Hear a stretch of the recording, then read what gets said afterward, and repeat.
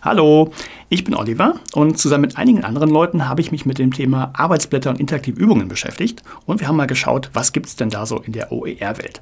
Und wir sind darauf gestoßen, dass speziell der Aspekt Software ganz wichtig ist, denn man kann ja zum Beispiel ein Arbeitsblatt mit einer reinen Textverarbeitung erstellen, aber es wird irgendwann doch umständlich und es macht keinen Spaß mehr. Und deshalb haben wir uns wirklich mal ja, gestürzt auf die Software und uns die angeschaut.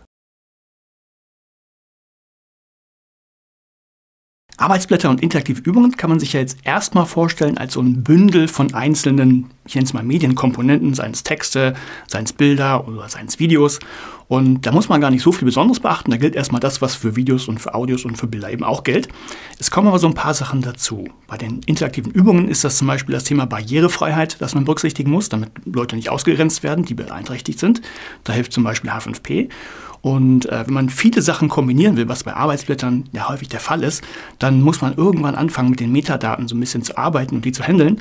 Und da unterstützt halt die Software.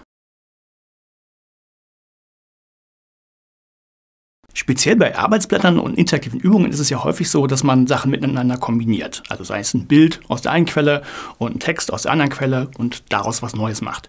Und da muss man natürlich ein bisschen aufpassen, wenn die Lizenzen unterschiedlich sind. Und die Software wie Tutory zum Beispiel kann einfach dabei helfen, dass man keine Fehler macht. Denn wenn man zwei Lizenzen kombiniert, die eigentlich gar nicht zusammenpassen, rechtlich gesehen, dann gibt es einfach einen Warnhinweis und man läuft da einfach gar nicht in eine Falle. Und darum kann Software eben durchaus sinnvoll sein bei der Lizenzierung und auch Hilfestellung leisten. Viel mehr Details, als ich hier unterbringen konnte, findet ihr natürlich in unserem Beitrag zu den Goldstandards, zu den interaktiven Übungen und Arbeitsblättern bei OER Info.